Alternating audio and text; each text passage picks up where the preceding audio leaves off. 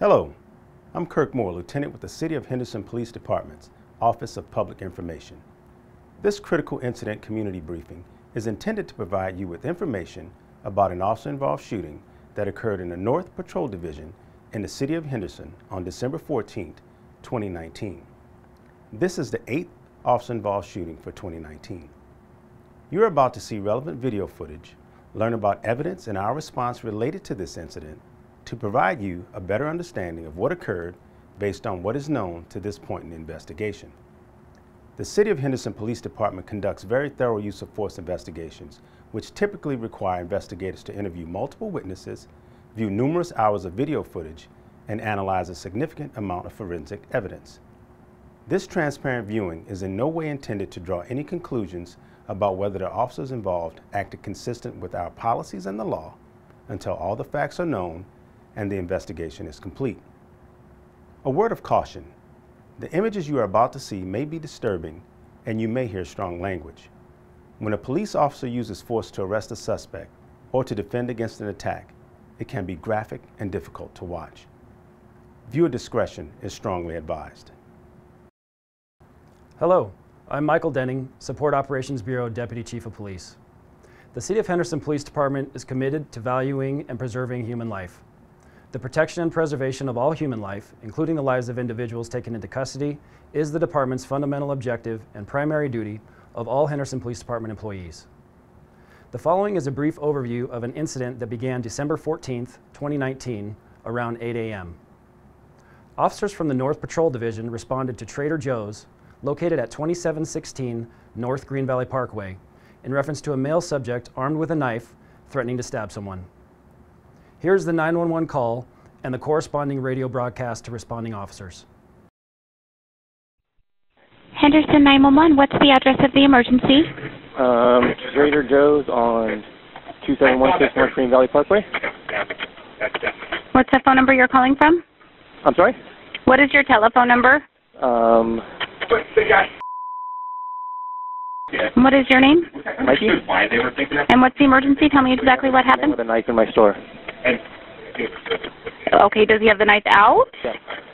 He said he'd What's he doing? somebody. I got fired. He said what? He said I'm gonna. He said I have a knife. I'm gonna stab somebody. Get the cops here. Dude, I almost. Is he saying who he's going to stab? No. And I didn't Cops even what it What's he look like? He's got a black I'm like, jacket why on. is she not saying Is he white, black, Hispanic? White. Got a black About how old is he? Jacket on. About how old is he? I'd say about 50. And he's wearing a black leather jacket. Is he wearing pants, shorts, blue jeans? He's um. He's standing kind of towards my entrance, just kind of watching people coming in. So, so he's standing at the front entrance. Yeah. That's it. Okay, man. So he told you, I'm going to stab somebody, call the police. That is not me. Did he say why he wants to stab someone? I'm sorry. Did he say why he's wanting to do this? Did you call the cops? Did you call the cops? Did you call the cops? And so we're calling the cops. We're telling customers not to. So, okay, so Mike, what started all of this? Was I there some? know. I, I just we just opened. All of a sudden, he walked towards the front of my store, and one of my crew said he has a knife. Call the cops, and that's all I know so far. Your crew said to call the cops, or the suspect said for you to call the cops? Towards me, holding his knife, and he said, "Are you calling the cops? I'm, I have a knife. I'm going to stab somebody." The subject was described as a white male, about 50 years old, wearing a black leather jacket and blue jeans. When officers arrived at the establishment, they encountered a male subject matching that description, later identified as Mr. John Watson, armed with a knife. As the first officer arrived, Mr. Watson began charging toward the officer with the knife in his right hand. Mr. Watson was given verbal directives to drop the knife, to which he ignored and continued aggressing the officer. Ultimately, the officer discharged his service weapon. Officers attempted life saving measures, however, Mr. Watson later succumbed to his injuries. Body worn video cameras used by the Henderson Police Department have a one minute buffer of video without audio. Upon activation, the camera goes back one minute and starts recording. This feature is designed to capture incidents that occur suddenly, where an officer doesn't immediately activate the camera.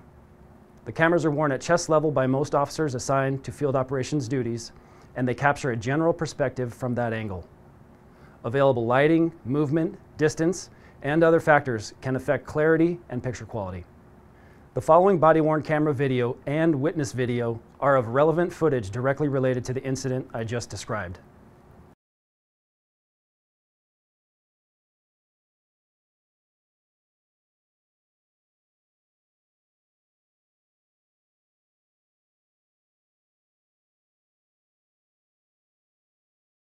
Good morning. Where's you at?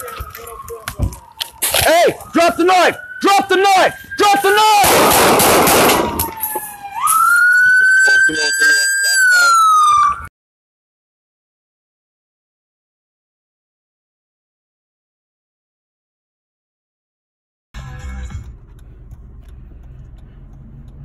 Oh my God, I am here at Trader Joe's and this guy just walked in as I was checking out and he threatened me and a lady with a knife and asked if we wanted to get stabbed. I ran out the store and he's sitting here.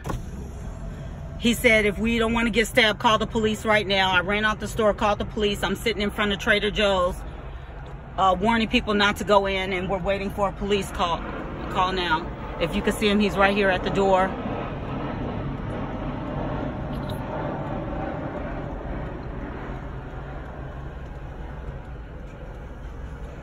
He's pacing back and forth. He has a knife in his hand. Oh, they finally came. Here they are. Oh, shit. Fuck! They just killed him. Fuck! Fuck! Oh, shit! Oh, fuck! Fuck! Suicide by cop. Oh, shit.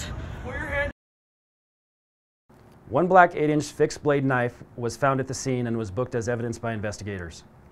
Here is a still image captured from body worn camera video of Mr. Watson charging the officer with the knife in his hand just prior to the shooting. In the next several months, the Henderson Police Department will continue to investigate and analyze this incident. We will continue interviewing any new witnesses that may come forward and complete forensic test. After the concurrent investigation, our Critical Incident Review Unit will forward its finding to the Chief of Police. Thank you for taking the time to view this Critical Incident Community Briefing.